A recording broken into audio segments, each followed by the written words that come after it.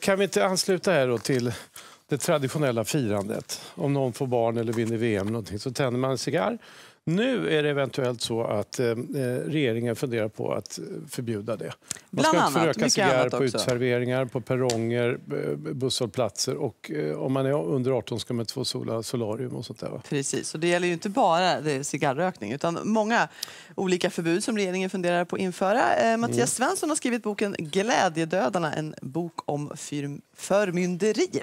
Mm. Eh, och eh, vi ska höra vad han tänker om Sverige och just förbud. Eh, god morgon Mattias, Mattias, eh, du är liberal debattör. Alltså, vad bottnar det här i? Har vi en förbudskultur i Sverige?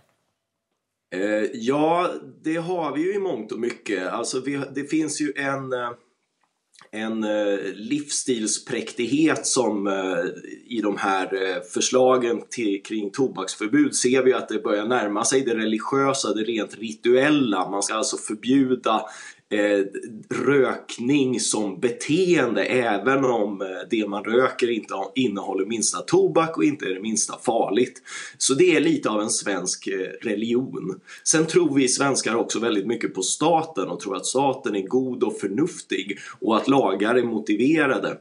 Och det blir ju ganska, en ganska olycklig cocktail av förbudsglädje som jag tycker eh, den nya eh, ministern frustar Men av. finns det ingenting bra i att, att jag menar, tobak är ju inte, är ju inte bra för oss? Kan det inte vara bra att, att ha förbud emot ett beteende som inte är hälsosamt?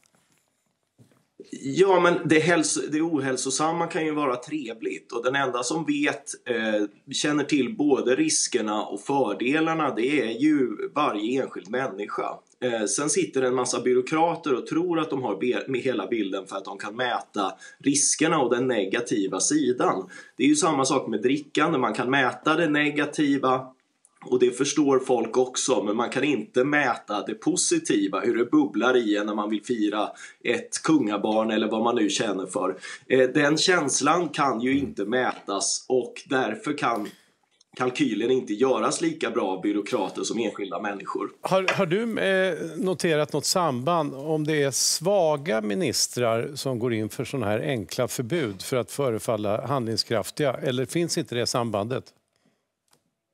Eh, Det är en mycket bra fråga. Alltså, jag, jag tror att det kan handla både om eh, en, en vilja att profilera sig i det enkla eh, men, men kanske också att vissa, vissa gör det med, eh, med större liv och lust. Eh, folkhälsoområdet är ju stort och eh, sjukvårdsområdet är ju stort. Nu har vi väldigt många ministrar så den här ministern fick i princip mest pekpinnar. Och då är det klart att han vill vifta med dem. Ja, så är det nog. Tack Mattias Tack för den mycket. kommentaren. Vi följer eh, ämnet intresserat.